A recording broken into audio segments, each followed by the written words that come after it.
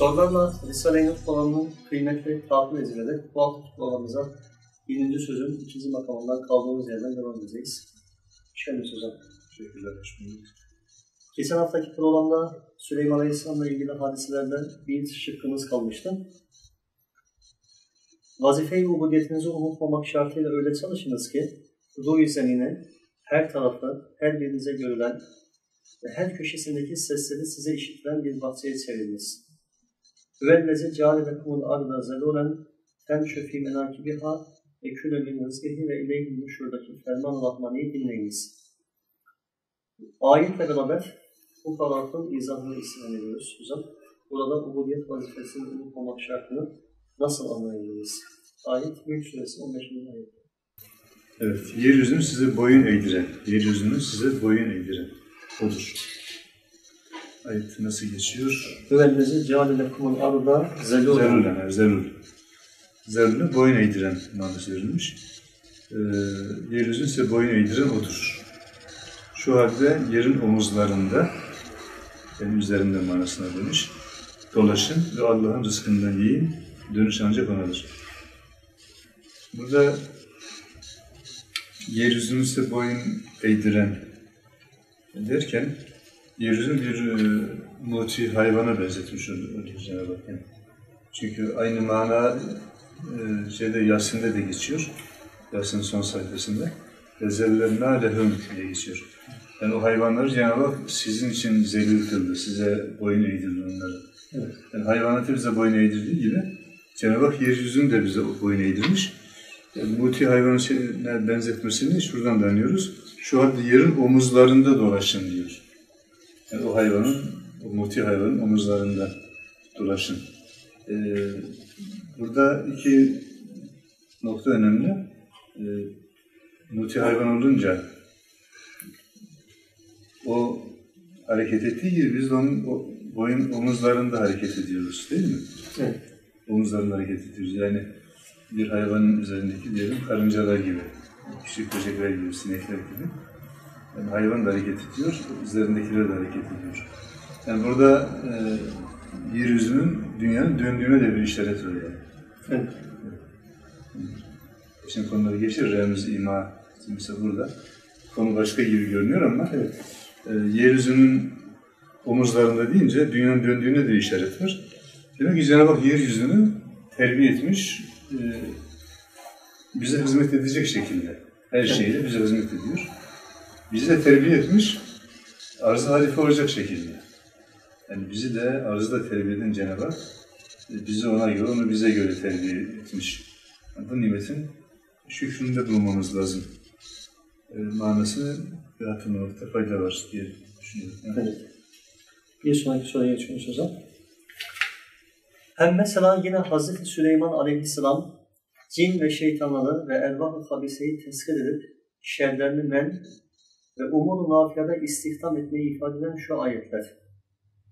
Ve mukaddimine fil esfat ila ahir ve mine şeyadini şeyadini men yahudune lehu ve ya'melune amelen dune zalik ila ahir ayetiyle diyor ki Sad suresi 38 ve Enbiya suresi 82. ayetler.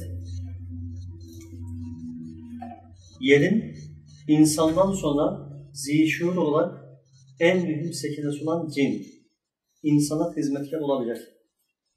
Onlarla temas edilebilir. Şeytanlarla düşmanlığı bırakmaya mecbur olup ister istemez hizmet edebilirler ki Cenab-ı Hakk'ın evamirine musaffar olan bir abine onları musaffar etmiştir. Cenab-ı Hak manen şu ayetin lisanı remziyle der ki Ey insan! Bana itaat eden bir abdime cin ve şeytanını ve şerirlerini itaat ettiriyorum. Sen de benim emrimden musaffar olsan çok mevzudat, hatta cin ve şeytan dahi sana musaffar olabilirler. İşte beşerin sanat ve fenin imtizazından süzülen, maddi ve manevi fevkalade hassasiyetinden tezahür eden ispirtizma gibi cel ve ervah ve cinlerle muhabereyi şu ayet en nihayet hududunu çiziyor, en faydalı suretlerini tayin ediyor ve ona yolu dahi açıyor. Fakat şimdiki gibi Bazen kendine evlat namı veren cinlere ve şeytanlara ve evlat habiseye musaffer ve nasıl olup oyuncak olmak değil, belki tılsımat-ı Kur'aniye ile onları teshir etmektir. Şerlerinden kurtulmaktır. Hem temessül elvahını işaret eden Hz. Süleyman Aleyhisselam'ın ifritlere celp ve teshirine dair ayetler, hem fe'erselna ileyha ruhana tetemethele leha beşeren seviyen usulü bazı ayetler, ruhanlerin temessülüne işaret etmekle beraber cel ve elvahı daha işaret ediyorlar. Fakat işaret olunan cel ve elvahı tayyibe ise nedenlerin yaptığı gibi Hezeliyat suretinde bazı oyuncaklara o pek ciddi ve ciddi bir alimden olan ruhlara bilmetsizlik edip kendi yerine ve oyuncaklara zelletmek değil, belki ciddi olarak ve ciddi bir maksat için muhyitin adamı gibi zatlar ki istediği vakit ervah ile görüşen bir kısım ehli vilayet müsüllü onlara müncelip olup münasebet etmek ve onların yerine gidip alimlerine bir derece takallık etmekle ruhaniyetlerinden manevi istifade etmektir ki ayetler ona işaretler ve işaret içinde bir teşviki ihsas ediyorlar ve bu nevi sanat ve fünun kafiyenin en ileri bulduğunu çiziyor en güzel suretini gösteriyorlar. Bu metinle ilgili şey, birkaç da sorumuz olacak yine. Birincisi Süleyman Aleyhisselam'a cinlerin ve şeytanların musakhar edilmesi gibi Allah'ın emirlerine musakhar olunduğunda o kulları da bu imkanın verileceği ifade ediliyor. Bunu nasıl anlamalıyız? Yani musakhar eden, hizmetine veren yana bak. Değil mi? Evet. Bir peygamberine, sevgili bir peygamberine lütufta bulunduğu gibi sevgili bir kuluna da bulunabilir. Evet. Burada bir mani yok. Ee, Ondan mucize olarak, bunda keramet olarak Evet. tezahür eder bu teskir. Yani bu hizmet edenlerine yardımcı olarak tayin etme. Ki? Bu, bu yola çıktı manasında. Evet. Nitekim e, cinleri tezkir eden çok büyük veliler çıkmış mazide. Çok mükemmeler işliyoruz. Evet. İkinci olarak Süleyman Aleyhisselam'ın ifritlerinden maksat nedir? Onların celp ve teskiri ne anlama gelmektedir? Bu meseleyi işaret eden ayetin izahı sadedinde meseleyi huzuha kavuşturabilir miyiz? Evet, ayet Sad suresi demiştiniz. E, kaçıncı ayet? Saat suresi 38. ayet. 38. burada ayet kelime. 36, 37, 38 beraberce verilmiş meali. Bunun üzerine biz de istediği yere onun emriyle kolayca giden rüzgarı, bina kuran ve dalgıçlık yapan şeytanları, demir halkalarla bağlı diğer yaratıkları onun emrine verdik. Yani ifritler, yani cinler, cinlerin tabiri caizse lider kadrosu yani. İleri seviyedeki mahiyet diğerlerinin çok daha diyelim kabiliyetli, kapasiteli, bunlar kumandanlık yapan. Nasıl insanlarda büyük insanlar varsa cinlerde demek ki kabiliyeti büyük cinler var. Tabi buna inanmayan cinler tabii. İnanmayan cinlerin e, ileri gelenlerine ifrit deniyor. Şimdi Süleyman Aleyhisselam bunları tezkir edince, hizmetini çalıştırınca e, otomatikman bütün cinleri rahatlıkla çalıştır, çalıştırabiliyor demektir yani. Evet. Evet, ayet ona veriyor. Evet. Üçüncü olarak hocam, işte beşerin sanat ve fennin imtizazından süzülen diye başlayan paragrafın izahını istiyoruz. İşte beşerin sanat ve Fennin imtizazından süzülen. yani şimdi Üstad Hazretleri burada ispiritizma için bu tabir kullandı. Sanat, bir cihete sanat, bir cihete fen demek istiyor. Hı. İspiritizma için. İspiritizma ruhları celbetme, onlara temas kurma. E, bu mümkün demek yani. Çünkü e, ruhlar hayattalar, vefat edenler ruhları da yokluğa gitmiyorlar. Yani. Kaybolan, e, çürüyen insan bedenidir, yani elbisesidir yahut hanesidir diyelim. Üstadın tabiriyle. Beden ruhun hanesi. Yani ölümle hane yıkılıyor. İçinde oturan alem ervah dediğimiz ayrı bir aleme ge- geçiyor, alem lezzet dediğimiz.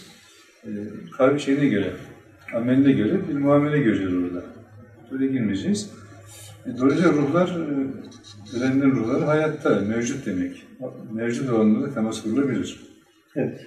Bu noktadan hareketle bunun e, bu bir sanat olarak, bir fen olarak e, bunun yolunu bulan kimseler ruhlara görüşebilmişler. Evet. İspiritizma yalnız şunu söylemek lazım. Bugün spiritizma bayağı e, bazı kesimlerde yaygın gibi görünüyor. Bazı kimseler maalesef e, yanlış yollara sevk edilebiliyorlar spiritizma yoluyla. E, olay şöyle cereyan ediyor. Bir masa etrafına toplanıyorlar. İşte medyum cinleri çağırıyor diye, ruhları çağırıyor. İşte o ruhlarla temas kuruyor. Fincanlar diziyor falan. Onların hareketinden bazı manalar çıkarılıyor. Ben fazla görmüş değilim. Duyduğum kadarını söylüyorum. Ee, tabii bazen doğru, bazen yanlış haberler veriyor. Doğru haberler itimat veriyor seyircilere. Arkasından yanlış haberler geliyor. Bu sefer onlara kanma hasılı diyor. Yani doğruyla avlayıp yanlışla yoldan çıkarmak gibi şeytanca bir oyun oynanıyor burada. Şimdi burada medyumların çağırdığı ruhlar kimlerdir sorusu akla geliyor. Evet. Kısaca onu söyleyeyim. Bir defa imansız göçen ve kabir azabı gören insan ruhları olsun, cinler olsun. Zaten bu masaya gelemezler. Bağlıdırlar zaten. E, müminlerin, kamil insanların, peygamberlerin ruhlarını zaten çağıramazlar kimseler. Yanaşsalar bile müminlerin ruhlarına, o mümin ruhları onlara alet olmazlar, oyuncak olmazlar. Geriye ne kalıyor? Geriye hayatta olan cinlerin inanmayan kısmı kalıyor. Yani e, bunların temas kurdukları, ruh, ruh diye temas kurdukları şeydir. E, cinliler insan ruhları değil kesinlikle. Dediğim gibi insan ruhu azap çekiyorsa zaten gel, gelemez oraya. Müminse, kamil insansa, peygamberse zaten çağrılamaz. Evet. Yerine kadar cinler kaldı. Cinlerin de inanmayan kısmı, inanmayan kısmı bunları oyun, oyuncak olabiliyor. Ee, burada önemli husus şu, cinler insanlardan çok daha uzun ömürlü. Evet. Bunun için o 400-500 sene Allah bilir daha da fazla yaşayanlar var. E, böyle olunca mesela bir cin, cinli medyumla temas kuran, e, medyum temas kurduğu diyelim bir cinli mazide, maziye ait gerçek bir haberi verebiliyor medyuma. İşte 100 sene evvel sen dedenin başından şöyle bir olay geçmişti diyor mesela. Adam da diyor hakikaten ben babamdan duymuştum bunu, böyle bir şey olmuştu falan. Böylece itimat e, veriyorlar karşıya. Bu defa az bunun peşlerine yanlış haberler geliyor. İnanca zıt. Allah muhafaza. insana kötü yola sevk eden yanlış uygulamalara kapı açıyorlar. İlk haberin yanlış e, doğruluğu bunları yanlış yola götürebiliyor. Bunun iyi bilinmesi lazım. Evet. Buna da heveslenmek lazım bu işe. Bunu da söyleyeyim gelmişken. Yani bu asırda cinlileri tespit edecek büyük zatlar azdır yani. Müminler, her mümin onlara temas kuramaz. Mümkün değil. E, çünkü niye temas kuramaz? E, onları teskil etmek, kendi hizmetini çalıştırmak kamil mümin işi. Üstadımızın bir güzel ifadesi var. Konu başka ama buraya e, çok açıyor bizim için. Buyuruyor ki bu zamanda diyor ameli salih, ihlas ve muvaffakiyeti pek azdır diyor. Yani bu zamanda salih amel işlemek çok zor. Evet. Pek azdır diyor. Devam ediyor. Bu zamanda takıl üstü esas olmuş diyor. Günahlar çok hücum ettiği insanlara her günahın teki de vacip diyor. Bu zamanda terakkinin yolu daha çok e, takvadan geçiyor yani. Binlerce günaha karşı direnen insan binlerce vacip işlemiş oluyor ve buradan mertebe kazanıyor. Şimdi salih amelin çok az olduğu bir dönemde e, mükemmel salih amel işleyen, büyük zatlarda görülebilen cinleri teskir etme olayı biz, bizim gibi insanlardan beklenemez zaten. Onun için buna hiç merak etmemek lazım bence. Nasıl sen de cinleri teskir etsem, hiç buna heveslenmemek lazım. E, ustadın gösterdiği yol önemli. Nasıl etsem de günahlardan çok daha fazla kaçınsam, çok daha fazla vacip işlesem, böylece manen terakki etsem diye bu yola girmek lazım. Öteki yol hayal tamamen. Bu asırda değil, nadir insanlara nasip olur. Onları heveslenmek ben de bu şey yapabilirim yoluna girmek yanlış. Cinleri tezkir edeceğim derken onlara maskara oyuncak olabilir insan. Öyle bir tehlike. Büyük bir ihtimalle her zaman var yani bu, bu insanlar için böyle bir tehlike. Her zaman geçerli. Diğer bir ayet-i kerimede bir kısım şeytanların da Süleyman Aleyhisselam'a tasvir edildiği Enbiya 82 metinde geçti hocam. Ona da değinir misiniz? Enbiya demiştiniz ya 82 ol- unuttuğum için bulamadım. Enbiya bulmuştum. 79, 82. Evet hocam. Şeytanlar arasından da onun için dalgıçlık eden ve İncil'e çıkaran, antiparantez konmuş, dalgıçlık eden ve bundan başka işler görenler vardı. Biz onları gözetim altında tut- tutuyorduk. Evet. Yani Süleyman Aleyhisselam cinleri tezkir ediyordu, onunla dalgıçlık yaptırıyordu, İncil'e çıkartıyordu. Evet. Hatta bir kısmını da bazı işlerde çalıştırıyordu. Bazı işlerde e, bizatihi bina yapmak falan gibi. Evet. E, bir takım işlerde cinleri Süleyman Aleyhisselam hizmet ettirmiş, çalıştırmış. Evet. Bir şık hocam, Muhittin Alami gibi zevatın ruhlarla irtibatları hakkında düşüncelerinizi alabilir miyiz? Az önce sanki söylemiş oldum. Evet. Yani bu büyük zatlar ruhlarla temas kurabilirler. Evet. Madem ruhlar hayattalar. Hatta Muhyiddin Arabi gibi büyük zatlar peygamberlere de temas kurabilirler. Tabi onların huzuruna giderek çağırarak değil de Evet. e, temas kurabilirler. E, bilgi alabilirler, feyizlenebilirler. E, diğer müminlere de temas kurabilirler. Dolayısıyla cinlerle de rahatlıkla irtibatları olur bu zatların. Onların inananların, inanmayanların da kendi derecelerine göre hizmetlerinde çalıştırmaları mümkün. Evet. Bunun imkanı Süleyman Aleyhisselam'da görünüyor. Çünkü bu konuyu burada niye almış? E, konumuzun ana başlığı ne? Peygamber mucizelerini taklit etmek değil mi? Evet.